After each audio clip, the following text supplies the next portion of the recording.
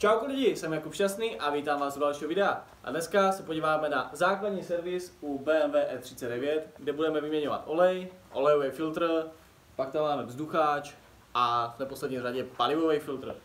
Otevřeme kapotu, vypustíme olej, vyměníme olejový filtr, napustíme to a pak se vrhneme na palivák. Tak jdeme na to.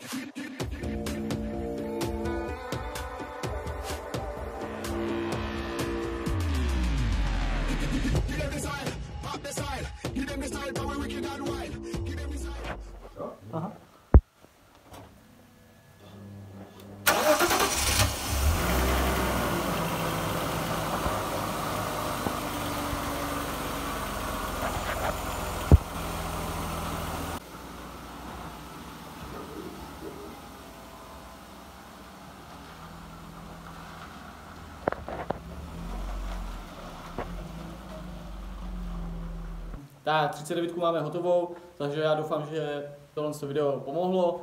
Jako samozřejmě výměna oleje a vzduchového filtru a olejového filtru je taková běžná věc. Ale zrovna ten palivový filtr, tak někteří z vás nemuseli vědět ani kde se nachází, takže u téhle výměny hlavně pozor na to, jakým směrem dáváte ten palivový filtr, protože tam je šipka dopředu, takže šipkou dopředu.